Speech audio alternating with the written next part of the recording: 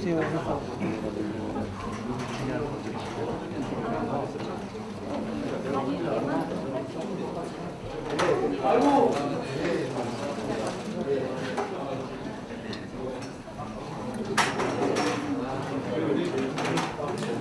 다시 한번 안내 말씀드리겠습니다. 잠시 후 경기도 데이터 배당 국회 토론회를 시작하겠습니다. 원활한 행사 진행을 위하여 내빈 여러분께서는 소지하고 계신 휴대폰을 진동으로 해주시고 회의장 밖에 계신 분들은 행사장으로 입장해 주시면 고맙겠습니다.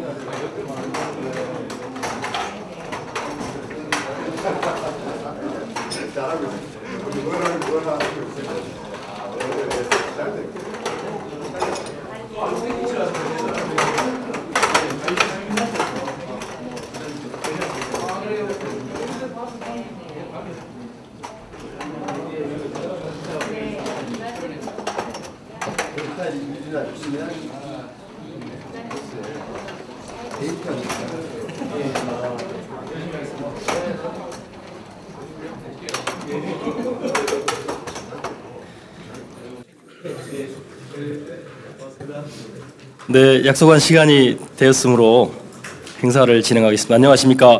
코로나 바이러스로 힘든 날들입니다. 그럼에도 불구하고 오늘은 역사적인 날입니다. 경기도가 세계 최초로 데이터 배당에 돌입했습니다.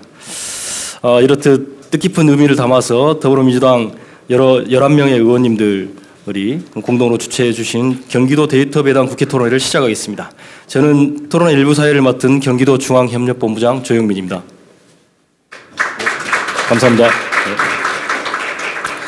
바쁘신 와중에도 불구하고 토론회에 참석해 주신 여러분께 진심으로 감사드립니다. 먼저 국민의례를 하겠습니다. 모두 자리에 일어나 단상에 있는 태극기를 향해 주시기 바랍니다. 국기에 대한 경례.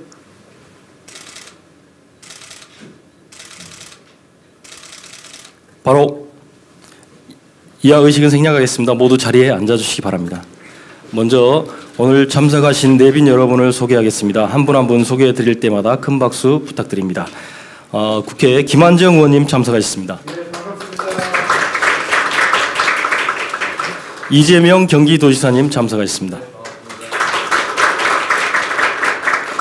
오늘 토론회를 공동 주관하는 경기도 경제과학진흥원 김기준 원장님 참석하셨습니다.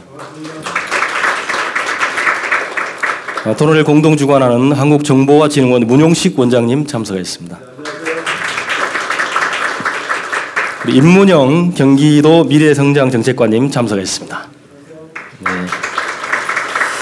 어, 노동 없는 미래의 저자 팀 던럽 박사께서 특별히 발, 발제 영상을 보내주셨는데요. 이따 2부 토론 때 보실 수 있도록 하고 어, 2부 토론 발제자 토론자분들은 2부 좌장께서 소개시켜 주시도록 하겠습니다. 다음은 이재명 경기도지사님의 인사 말씀 있겠습니다. 큰 박수 부탁드립니다. 아, 우선 선거에 바쁘신데 이렇게 일부러 시간 내주신 김한재 의원님 예, 각별히 감사드립니다. 어, 그리고 우리 에, 정보화 문제에 각별히 관심 많으신 예, 문영식 원장님을 또 여기서 뵙게 돼서 어, 정말로 반갑습니다. 네, 어, 뭐 전 세계에서 우리 정보 어, 데이터를 이제 이렇게 표현합니다. 네, 미래 시대, 4차 혁명 시대의 쌀이다 이렇게 표현한다고 합니다. 아, 실제로 이제 거대 IT 기업들이 막대한 이익을 남기고 있지만 사실 그 자원은 우리 에, 개인들이 생산한 데이터라는 것이죠. 앞으로 이제 이 데이터의 중요성이 점점 더 에, 커질 텐데 이 데이터 생산의 주체인 개개인들, 개인들이 과연 에, 그에 상응하는 보상을 받고 있느냐라고 하는 점을 본다면 실제로는 그렇지 못한 것 같습니다. 아, 전 세계적으로 이제 데이터의 주권, 데이터 주권을 어, 어떻게 실현할 것이냐에 대한 논란들이 많고 어, 준비들도 많이 하고 있습니다만 자랑스럽게도 우리 경기도에서 아주 액수는 매우 적지만 데이터 배당이라는 이름으로 데이터 주권을 실현하는 일종의 실험을 현재 하고 있습니다. 뭐 오다가 얘기를 들으니까 어, 이미 입금을 해줬다고 하던데 무려 120원입니다. 예. 사실 참 어, 금액으로 보면 매우 적지만 저는 이게 새로운 출발을 알리는 신호라고 생각합니다. 아, 이게 가능하구나라는 것을 한번 보여주는 것이죠. 음, 언젠가 시간 뭐 좀 세월이 지나서 에, 우리가 개인들이 생산하는 모든 데이터에 대해서 에, 데이터 주권을 인정하고 그에 상응하는 보상들이 이루어진다면 뭐 거기에 공을 한네 개, 다섯 개 이렇게 붙이는 날도 곧 오지 않을까 아, 그렇게 생각합니다. 아시는 것처럼 에, 이 데이터는 경기도가 이제 지역 화폐를 음, 활용하면서 사용하게 되면서 생긴 데이터들에 대한 대가가 주를 이루고 있는데 이 앞으로 어, 다른 영역으로 어, 다른 민간 영역으로 다른 사업 영역으로 또 경기도에서 어, 전국으로 또 지방 정부에서 중앙 정부로 어, 확산되는 에, 첫 출발지가 되기를 기대합니다. 우리 경기도에서 이런저런 실험들을 에, 선도적 정책들을 또 많이 해 나가긴 하지만 그 중에서도 저는 가장 자부심 갖는 것이 지역 화폐라고 생각합니다. 거기에 이제 기본소득 그리고 이제 나아가서 에, 데이터 배당이 또 하나의 정책으로 실현되게 됐는데 에, 여러분들의 노력으로 어, 우리 4차 산업혁명 시대의 쌀로 불리는 이 데이터에 대한 우리 이용자, 생산자의 주, 주권이 에, 확립되는 그 날을 하루라도 앞당겨 봤으면 좋겠습니다. 대단히 감사합니다. 네, 고맙습니다. 이어서 김한정 의원님 인사 말씀 듣겠습니다.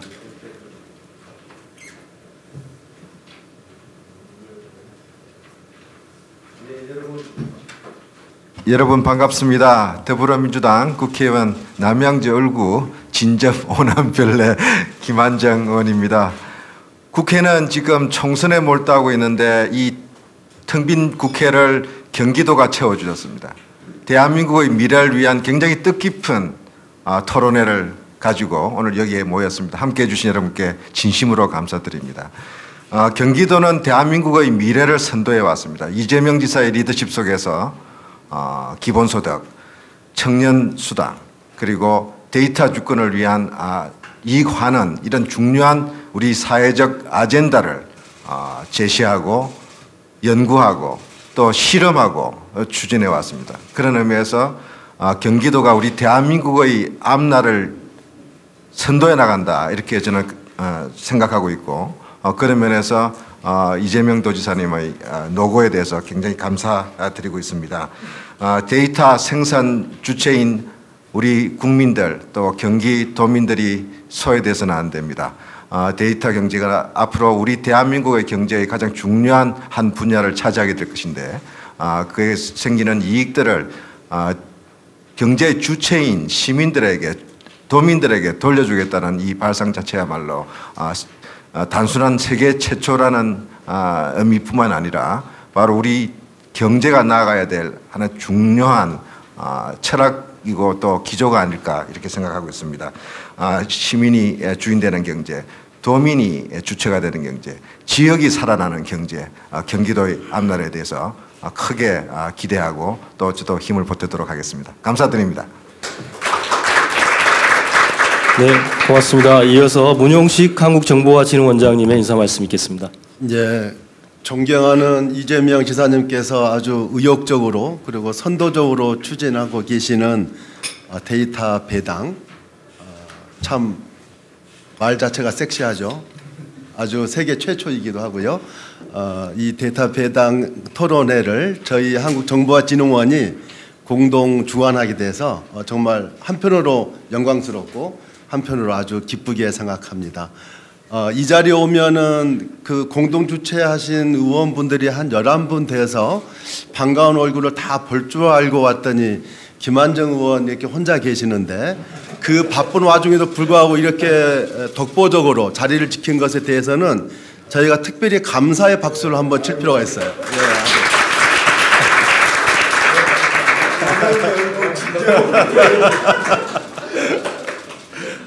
곧 경선이 있다고 하니까요. 예, 유념해 주시기 바라고. 어, 저희 한국정보화진흥원이 어, 국가정보화 싱크탱크예요. 그러다 보니까 이제 국가 데이터 기반 구축하고 확산하는 주관 기관이기도 해서 어, 데이터에 관한 사업도 많이 하고 있습니다. 어, 그 중에 이제 대표적인 사업이 어, 10대 플랫폼과 100대 센터 구축 사업인데 그 중에 경기도가 또 의욕적으로 이 사업에 도전해서 지역 경제 플랫폼을 만들어 보겠다. 그것도 지역 화폐를 어, 중심으로 해서 어, 지역 경제 플랫폼 그 데이터 플랫폼을 만들겠다고 해서 어, 그 10대 플랫폼 하나로 지금 열심히 사업을 하고 계시고 그 성과의 어, 중에 하나로 이제 아, 데이터 배당을 하게 돼서 어, 정말로 이 사업 주관하는 기관으로서 굉장히 뜻깊게 생각을 하고 아, 또 한편 감사하게 생각을 하는데요. 이런저런 데이터 경제 활성화 그런 국가적으로 하는 그 아, 정책 마련하는 자리에 제가 가서 이런 얘기를 한 기억이 납니다. 국가가 할 일은 어렵게 생각하지 말고 크게 세 가지인데 첫째 데이터 경제를 활성화하려면 첫째 어슈어런스를 분명하게 다오 법적 근거 법적 안정성 을 보장해 다오 그러면 민간은 알아서 열심히 한다 데이터 경제 3법 개정해주고 아, 아주 그 어, 부족한 부분 시행령에서 확실하게 명확하게 해주고 어, 가이드라인 확실하게 해주고 이런 것만 정부가 명확하게 어, 분명하게 해주면 민간은 거기서 열심히 알아서 뛸 거다. 이게 첫째고 두 번째로 마중물을 확실하게 부어다오. 다 정부가 다 할 수 없잖아요. 한정된 예산으로 확실한 분야에 마중물을 확실하게 부어다오. 그러면 나머지는 민간에서 어, 이 물기를 품어낼 테니까 마중물을 잘 부어다오. 세 번째가 오늘 데이터 배당과 관련된 건데요. 인센티브 시스템 설계를 잘 해다오. 정부에서 정책을 수립할 때 어, 국민들 이, 이 데이터 경제에 대해서 아 참여하면 뭔가 확실한 어, 보상이 돌아오는구나 하는 인센티브 설계가 중요하다.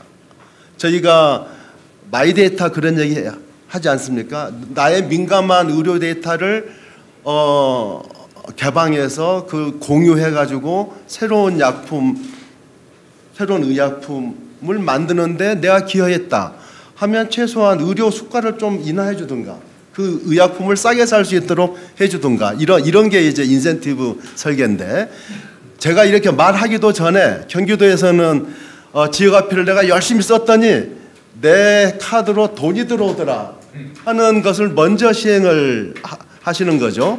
그래서 참 경기도가 발빠르다. 중앙정부보다 어, 경기도 훨씬 더 잘합니다. 그런 점에서 오늘 이 자리가 어, 한국의 데이터 경제 발전에 어- 어떤 상징적인 이정표를 긋는 그런 자리라고 생각을 해서 어, 이 주관하는 입장에서도 굉장히 기쁘게 생각하고요. 앞으로 더큰 어, 경기도의 발전과 이재명 지사님의 발전이 있기를 어, 기대하겠습니다. 감사합니다. 네, 고맙습니다. 김기진 원장님 한 말씀 하시, 하시죠. 네. 제가 드릴 말씀은 지사님께서 다 하셔서 저는 그냥 감사의 인사만 드리겠습니다. 아, 주최해 주신 김한정 의원님 그리고 여러 의원님께 에, 깊이 감사드립니다. 아, 경기도가 어, 추진하는 아, 이번 이 사업이 여러 의원님들이 관심을 가져주셔서 더욱 힘을 받을 거라고 생각을 합니다. 아, 또한 함께 공동 주관해 주신 문용식 원장님 아, 참 좋은 말씀도 감사하고요. 아, 대단히 감사드립니다. 감사합니다.